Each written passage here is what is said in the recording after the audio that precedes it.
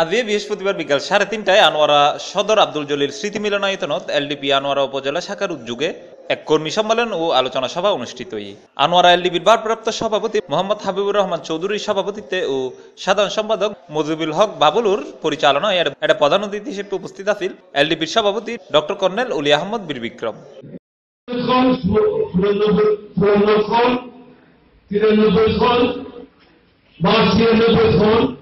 ঈদের ফলাফল সবসময় কিন্তু না মারামারি বিশৃঙ্খল সৃষ্টি করে রাখছি কমিশন আইন কথা হল হাইকোর্টের প্রাঙ্গণ নারী লিখে জজ পয়দা হয়ে গেল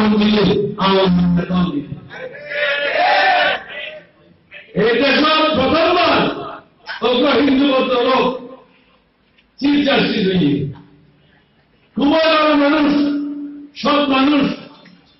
রাতে বন্দুক করে গেলে এইভাবে পার করে দিয়ে হতে দিয়ে গাড়ি দিয়ে। বহু চিন্তা ইয়ে ইয়ে দেশ। দেশ হিন্দু, মুসলমান, বৌদ্ধ, খ্রিস্টান ব্যাপক দেশ। কোনো টাকা চুরি করে নাই।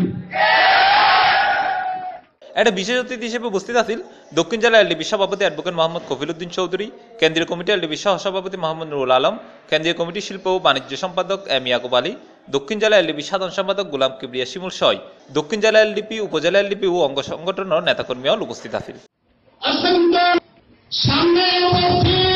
ডেক্স নিউজ সি প্লাস টিভি।